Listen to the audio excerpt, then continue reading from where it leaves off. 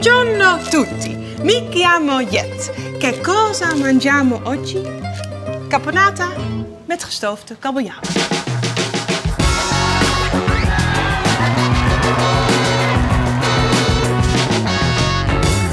Voor de caponata met gestoofde kabeljauw heb ik nodig uiteraard kabeljauwfilet. Voor de caponata aubergine, bleekselderij, rode uien, tomaat, knoflook, olijven, kappertjes, olijfolie, rode wijnazijn, dan nog lekkere pijnboompitjes, ciabatta en peper en zout. Dit is echt een super lekker gerecht. Want ten eerste is het Italiaans en ik hou heel erg van de Italiaanse keuken. Maar ik hou ook heel erg van eenpansgerechten. Chris, eenpansgerechten. Ik weet het. Gemakkelijke eenpansgerechten. En dat is dit, alles in één pan. Ik begin met de aubergine. Die ga ik als eerste in de pan lekker goed aanbakken. Die heeft ook best wel wat tijd nodig, dus daarmee begin ik eerst. Ik maak blokjes van de aubergine. Gaat niet in de oven, hè? Gaat in de pan. Dit gaat allemaal lekker sudderen in een pan. Ik zat er eh, een beetje over te lezen. Ja. En jouw grote held, eh, Jamie! die maakt dit dus ook. Jamie Oliver maakt ook graag caponata. Ja. Jamie kan vreselijk goed koken, maar ook echt, hij is niet eh, per se super ingewikkeld. Net zoals ik. Hapjespan op het vuur, flink olijfolie, En ook best wel heet, hè? De pan, of niet? goed heet, want we gaan die eh aubergines echt even laten schrikken. Goed aanbakken, want dan krijgt ze smaak.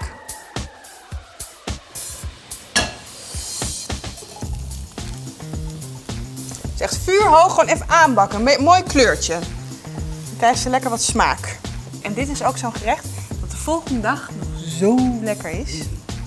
Koud, ook koud heel erg lekker eh, te eten. Nou, ik doe er nog een beetje bij. De aubergine is echt bruin. Dat moet ook, want aubergine heeft eigenlijk geen smaak. Als je het bakt, dan komt de smaak vrij. Ik doe het in twee keer trouwens. Nog een keer een beetje olijfolie. Zo. Dit laat ik even aanbakken. Ga ik alvast de uien snijden. In ringetjes. En die gaan dan ook straks in de pan lekker sudderen. Slappe uien worden dat. Zo noem ik ze altijd. Oh jongens, ik ga echt zo erg huilen. Ik heb iets met uien snijden. Ik moet altijd zo ontzettend huilen. Het is vrij irritant ook. Maar ik heb dus nu iets bedacht. Tenminste, Hugo heeft mij een tip gegeven. Oké, truc van Hugo. Water in mijn mond. En dan zou ik niet huilen als ik uien aan het snijden ben.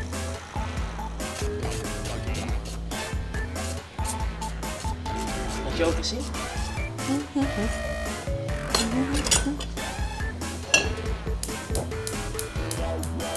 Jongens, dit werkt. Echt hè? Ja, echt. Het werkt echt. Hugo, bedankt. Deze batch is klaar. Kijk eens, mooi bruin. Oeh. Olijfolie zit in de pan. En dan gaan de uien erbij. En dan gaan één voor één alle lekkere ingrediënten erbij. Nu gaan we echt de caponata maken. De tomaten, wel even het kapje eraf. Dan in blokjes. Gaat ook mee in de pan. Het is eigenlijk veel snijwerk. Ja. De volgorde is best wel essentieel. Namelijk beginnen met de aubergine, want die heeft lang nodig. Dus die bak je even aan. Ik doe bijvoorbeeld ook wat later de knoflook erbij. Anders dan kan hij zo snel verbranden. Ik vind caponata ook echt een, ehm, een beetje een boersgerecht. Lekker met een stukje ciabatta erbij. Dan kan je lekker zo dopen. Ik hou ontzettend veel van koken, maar voor mij moet het simpel zijn. En ik wil ook laten zien dat, je gewoon, dat het niet moeilijk hoeft te zijn. Dat koken leuk is en best wel gemakkelijk. Ja. Daarom is caponata ook zo'n, echt zo'n gerecht voor mij. Simpel, super vers, hartstikke lekker en je hoeft niet lang in de keuken te staan. Tomaten erbij.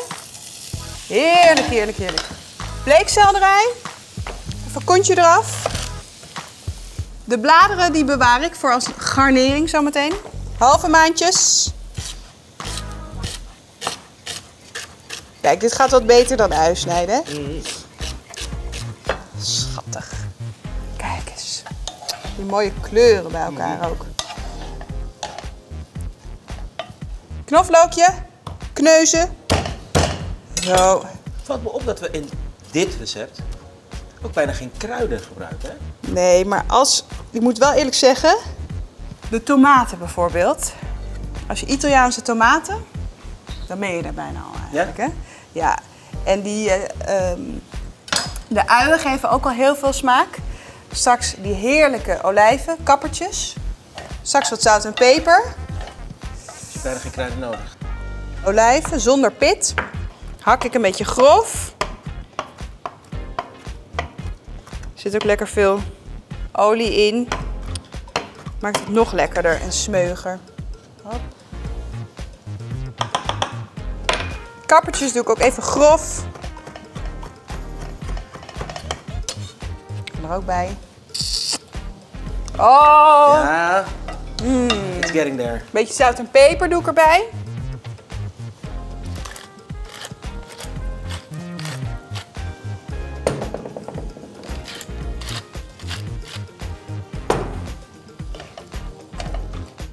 Vind je leuk om te maken, hè? Heerlijk om te maken. Dit is een heerlijk gerecht wat ik vaker maak. Ik vind het zo gemakkelijk dat het in één pan is. Ik maak altijd lekker veel. Volgende dag ook hartstikke lekker. En Jamie Oliver maakt het vaak, hè? mijn held. Dus eh, het is echt een ehm, favoriet. Doe ik de aubergines mogen in de pan. Aubergine, dat is, dat is bijna een van de weinige groentes die je niet ra- rauw kunt eten. Er is echt geen reet aan hebben we al een goede boerse ratatouille. Ik doe er nu nog rode wijnazijn bij. Caponata dat een, heeft een zoetzure smaak. En vaak, Italiaanse tomaten zijn zoet. Je gebruikt rode wijnazijn, maar als je echt die zoete smaak wil hebben, kun je ook suiker toevoegen. Maar de tomaten van Italië zijn natuurlijk al zoet genoeg, maar hier zou ik het overwegen. Of honing kan ook.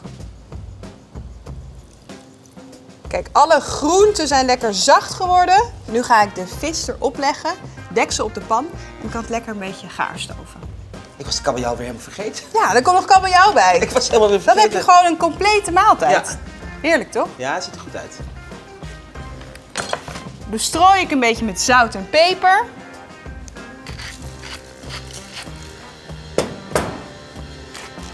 Oep. Andere kant.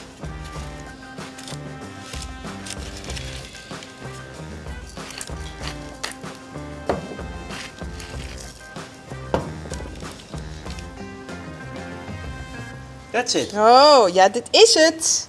Kabeljauwfilet op de ratatouille, deksel erop en dan stoomt het gaar. En kabeljauw heeft sowieso weinig eh, tijd nodig, hè. Het is snel gaar. 10, 15 minuutjes stoven, hebben we een heerlijk gerecht. Ciabatta erbij. En dan ga ik ondertussen even de pijnboompitjes roosteren. En daar moet ik altijd goed bij blijven, want voor je het weet zijn ze verbrand.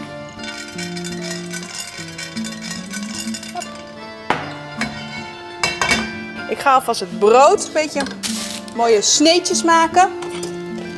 Ik vind het wel leuk om schuine sneetjes. Oh, Ik, we zouden eens een keer vertellen hoe vaak jij in een uitzending ho zegt. whoopsie. Ho. Oh. Oh, lekker kunnen we zo meteen in die saus. Heerlijk. Weet je nog die grap van die pijnboompit? Vind je het goed als ik onder deze pijnboom pit? Ja. Ja? Ja, dat was hem. Echt? Vind je het goed als ik heel even onder die pijnboom pit? Het vuur uit. Ze zijn perfect. Doe ze altijd meteen in een bakje, want anders garen ze door in de pan en dan verbranden ze alsnog. Zo. We gaan serveren. Vuur uit. Je ruikt het al. Bordje. Dit is nou echt een comfort food bordje. Eerst een beetje caponata. Visie. We hadden nog deze blaadjes van de selderij. Wacht, ik ga het gewoon eroverheen scheuren. Pijnboompitjes. Dan nog een flinke scheut olijfolie. Want het blijft een Italiaans gerecht.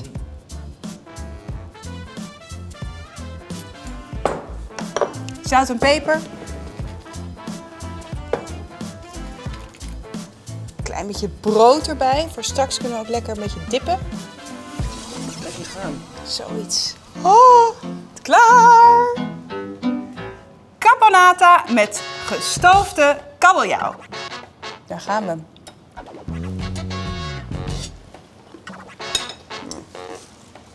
Dit is gewoon heel lekker. Ja? Dit is gewoon, ik ben gewoon in Italië.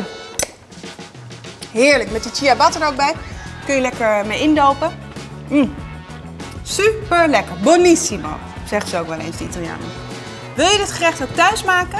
Kijk dan op 24kitchen.nl en ik zie je de volgende keer weer. Ciao, bye. Ciao!